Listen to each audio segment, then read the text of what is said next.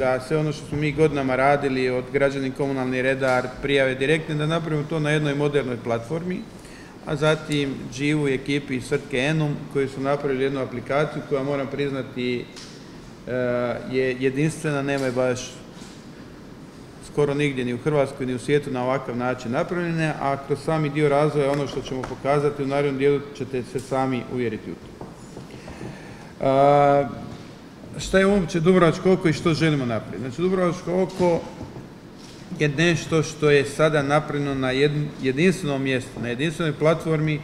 cijelokupni napor grada Dubrovnika u proteklih 5-6 godina u kojima želimo imati interakciju između građana i gradske uprave. Znači ona nije jedina, sjetite sami, takav isto tako i prijedlozi za gradski proračun, ljudi vide problem, predlože, mi usvajamo proračun. Mi e,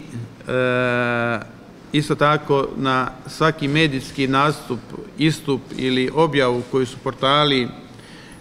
ili mediji ili novine u Dubrovniku objavljivali smo nastavili reagirati promptno, ali to je sve bilo posredno.